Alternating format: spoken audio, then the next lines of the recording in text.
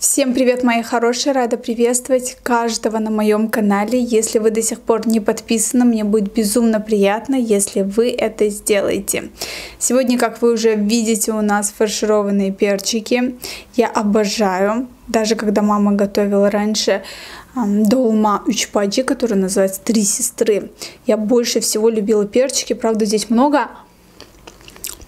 Не знаю, смогу ли я все сесть. Хлеб забыла. Но ничего, без хлеба тоже идет. В общем, приготовила сама. Немного соли перебор... переборщила.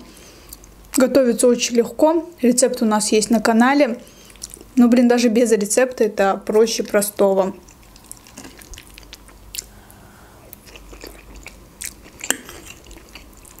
Просто жарите мясо с лучком отдельно.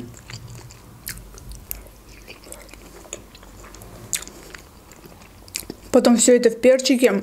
И все, вкуснятина получается.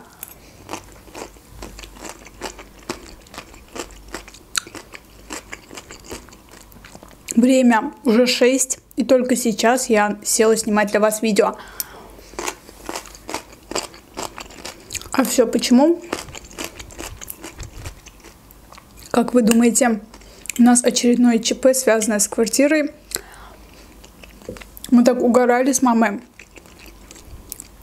Вот реально, столько времени потратили на этот кафель. Я вам во влоге показывала, что когда мы приобретали квартиру, кафель был фартук на одну стену, а я хотела кухню угловую. Поэтому нам пришлось отклеить кафель с одной части и приклеить на другую. И мы это все успешно сделали, все выглядит красиво, заплатили за это все деньги радостная. Зовем, значит, дизайнера, который будет измерять все. Пришел специалист, и он немного был в шоке от того, что кафель был приклеен изначально очень низко. Стандарт это 90 сантиметров. А у нас кафель прям, ну, очень низко получается.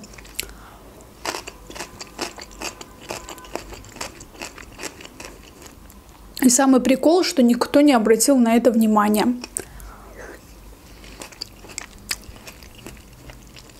Как был он низко, так мы его и приклеили. То есть изначально тот, кто клеил в этой квартире кафель, он допустил ошибку. А мы уже, исходя из его работы,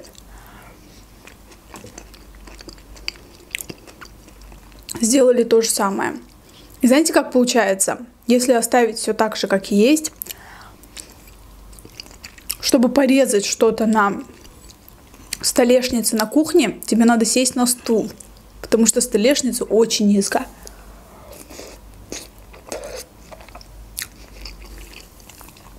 расположена.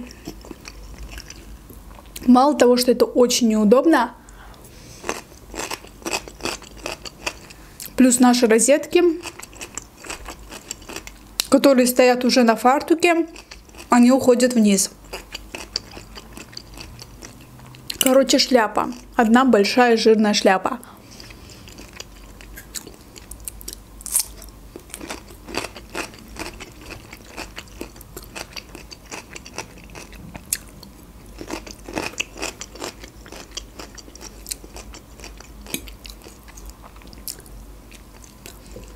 Если делать соответственно тем разметкам, которые уже есть, получается, что когда ты режешь там что-то на, на кухне, во-первых, тебе надо стоять сгорбившись.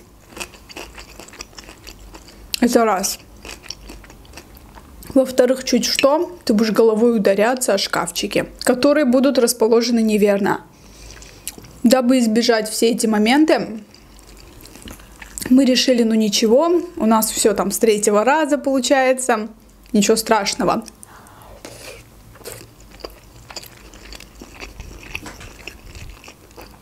Весь этот кафель нафиг сносим.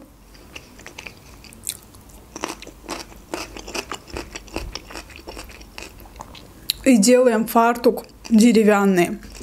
Заказываем.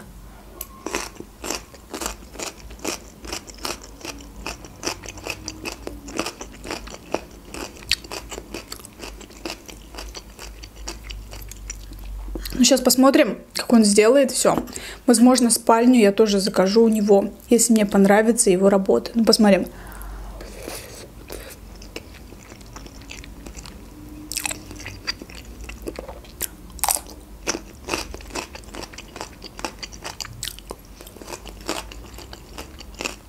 Я такой человек,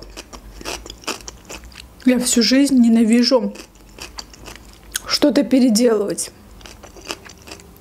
Мне проще изначально сделать хорошо, чем потом опять сидеть это все переделывать. Даже видео. Редко бывает, что я видео, например, переснимаю.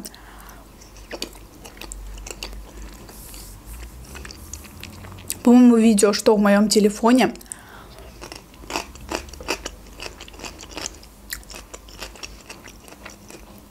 Мукбанки так вообще.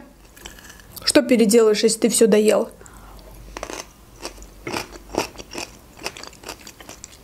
Тут уже ничего не сделаешь.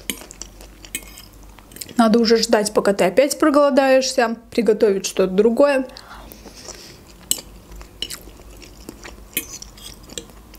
Например, перчики я приготовила немного для мамочки. Мама, бабушка не ест.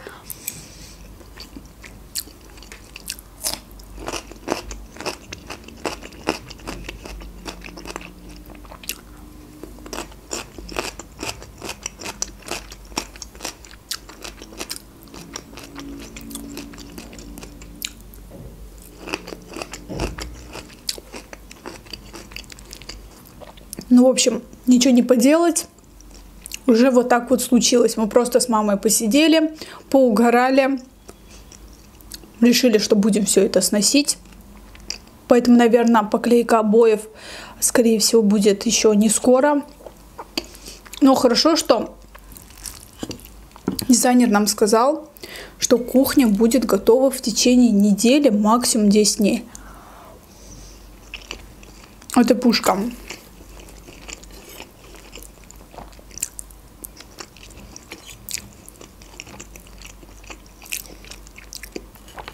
Во влоге то, что я вам показывала, стол и стулья, я хочу взять их.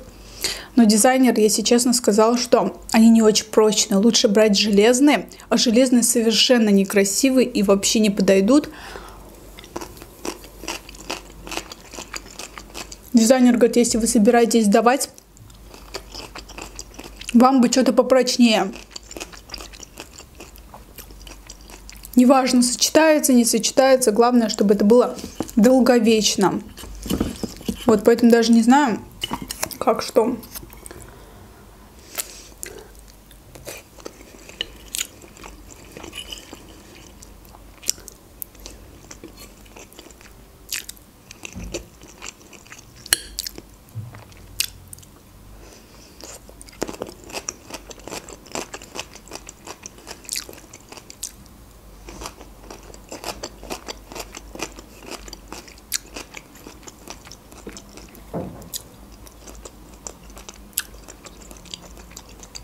Почем нам обошлась а, кухня? Многим интересно, поэтому скажу. Кухня нам обошлась 1200.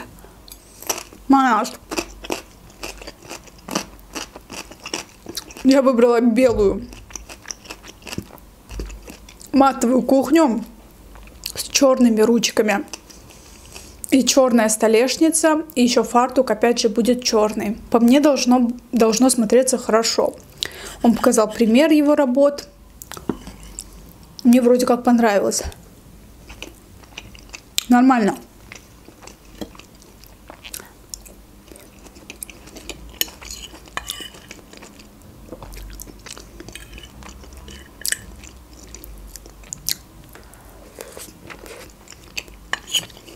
Знаю, вам интересна вообще тема про квартиру? Я просто вам так рассказываю. Надо в названии к видео тоже написать, что про квартиру.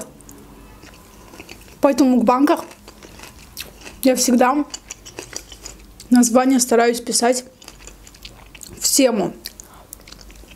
Вот вы, например, смотрите, что название, например, про квартиру, и уже думаете, мне это неинтересно, не зайду-ка я.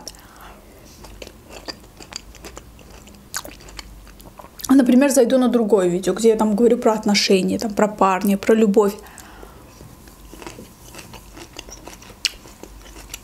Поэтому стараюсь называть не просто фаршированные, там, например, перцы, еще что-то, а стараюсь называть именно по теме.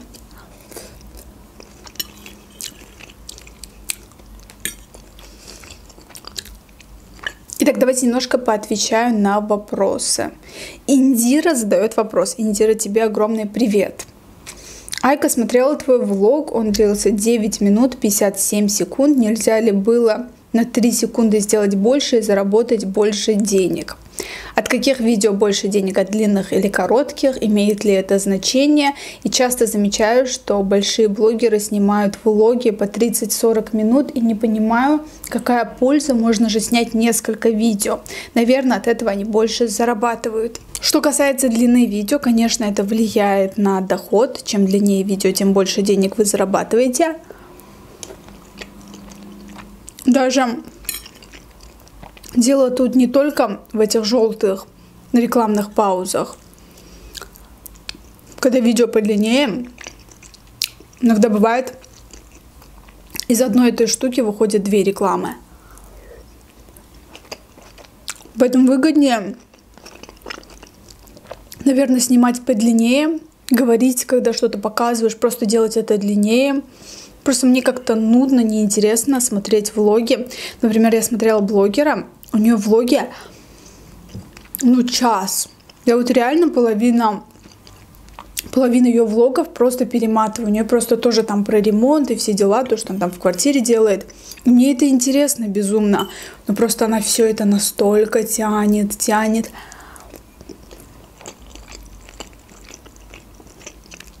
Для меня это минус, нежели чем плюс. Поэтому я люблю, когда компактно, ничего лишнего, коротко и по делу.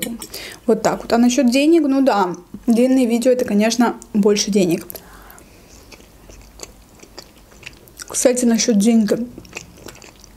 Вчера вечером захожу в ТикТок и замечаю, блин, ребят, столько стало вот этих вот экстрасенсов, гадалок, которые раскидывают карты в ТикТоке. Неужели никто не может в это вмешаться, не знаю, ТикТок просто блокировать, а правоохранительные органы начать заниматься этими людьми? Ладно, ребят, мы с вами, да? Просто иногда, когда люди находятся в отчаянии, или пожилые люди, наши бабушки и дедушки, которые реально искренне верят во все это, и просто таких людей разводят на бабки. Чем отличается обычное мошенничество от вот этих вот гадалок?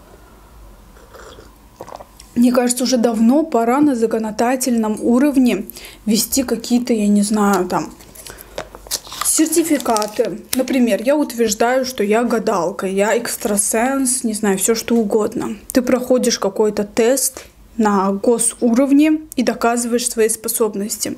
После этого тебе дают какую-то бумажку, например, которая дает тебе право заниматься всеми этими делами. Не смог доказать? Все. Нечего людей обманывать. Смотрю, молодые девушки сидят, раскидывают карты, обманывают людей. Ну вот реально.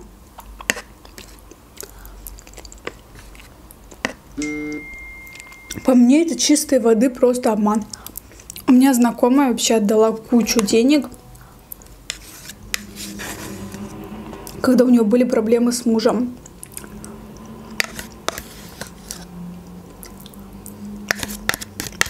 На тех людях, у которых беда, у которых проблемы, какие-то сложности, делаются большие деньги. Я просто не понимаю,